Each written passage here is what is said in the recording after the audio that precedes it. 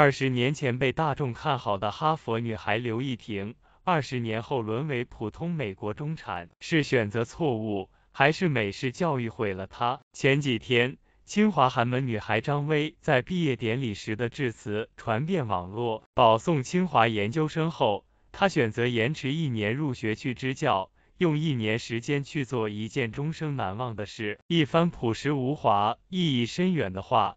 让人深思，他的选择令人钦佩。听从内心的感召，跟从理想，不是每个人都能做出这样的选择。他在致辞中问道：“你被生活的波涛所淹没了吗？”他说：“在万千的选择面前，他们放弃了万人眼中的最优解，跳出了生活的舒适区，走向了祖国最需要的地方。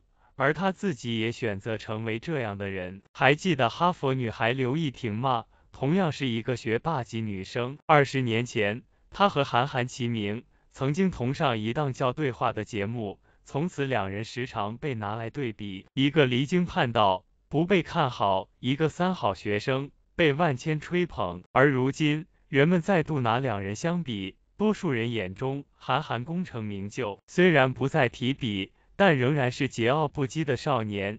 写作、出版杂志、赛车、导演，他的人生丰富、自由，是无数人想要却复刻不了的生活。而曾经被拿来与韩寒对比，一个天上，一个地下的哈佛女孩刘亦婷，在人们眼中却沦为了无名的美国中产。说起刘亦婷，还要从一本书说起，当年被各家父母捧在手中的教育典籍《哈佛女孩刘亦婷》。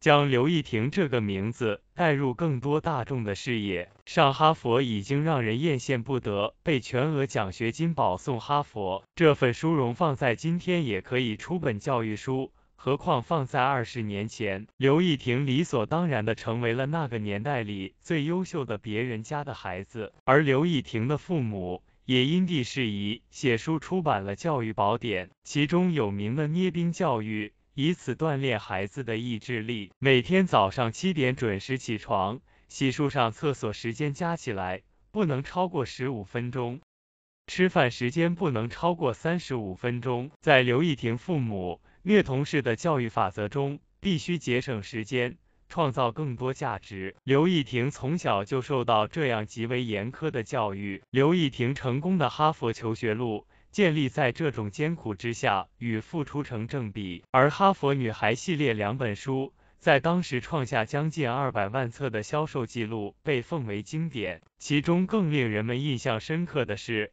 这样努力的女孩，还一心想着报效国家，更是获得无数称赞。在刘亦婷被公开的日记中写道：“我要把我的一生。”奉献给祖国的经济建设，我要以科学文化知识为杠杆，为人民提供更多的就业机会，为社会创造更多的财富，让贫困的儿童都能上学，让需要救助的人都得到救助。这沉甸甸的使命感，从十八岁的他口中说出，虽然稚嫩青涩，却让人心头一暖。十八岁，真是个美好又理想的年纪啊！而后来，人们却说他变了。出国后。曾经那个一心报国、为祖国建设的女孩儿不见了。哈佛毕业后，刘亦婷没有回国，而是选择留美继续发展。传闻与合伙人开公司投资失败后，刘亦婷与哈佛校友结婚，成为美国人。网络上还流传，刘亦婷对外国人亲切随和，却总是对国人一副冷漠脸。是这个女孩儿变了吗？与同时期的韩寒相比。刘亦婷显然不具备韩寒的身家名气，沦为美国中产是刘亦婷的选择错误吗？还是美式教育毁了她？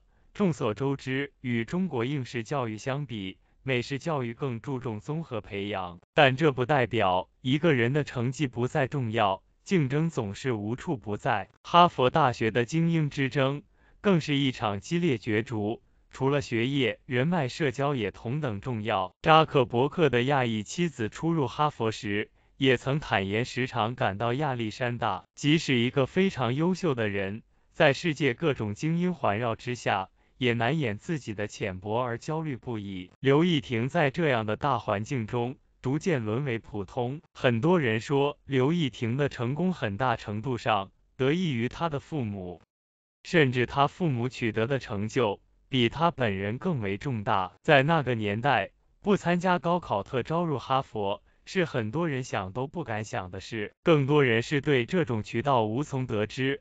而刘亦婷父母凭借快人一步信息资源，获悉了这种方式的每一个步骤，并按照要求把刘亦婷打造成了哈佛想要的样子。刘亦婷确实幸运，因为她在那样信息闭塞的年代里抢占了先机。然而说到底，刘亦婷并没有超高智商，有没有真正具备哈佛人的品性，也无从考证，只是一个怀揣着梦想。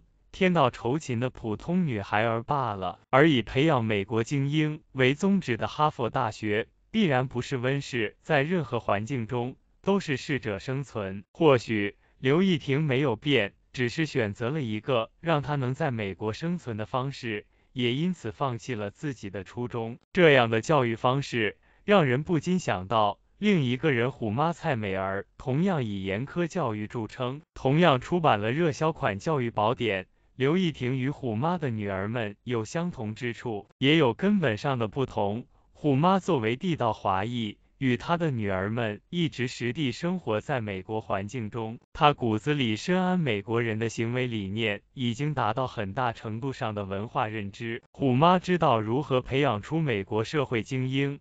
而不只是一个名校学生，这是人们推测虎妈的女儿们必成大器的原因。尽管严苛虐童式的教育也被美国媒体诟病，但不可否认，虎妈的目的性极强且目光长远。她的女儿们也取得了常人难以企及的成功。据传，如今刘亦婷发展的也还不错，先后担任某资本的合伙人和重要职务，代理大中华区。也顺利拿到了美国绿卡。人们将记忆中必定大有可为的印象套在刘亦婷身上，从另一种角度来看，也是对她本人的不公平吧。毕竟每个人都有选择自己人生的权利。清华寒门女孩张薇选择上研究生课程前，用一年时间去支教，跟随内心的使命感召。刘亦婷选择放弃原有。国籍和报效祖国的初衷，加入美国。虽然道路分歧，但也都是个人选择吧。很多年前，人们拿刘亦婷和韩寒对比，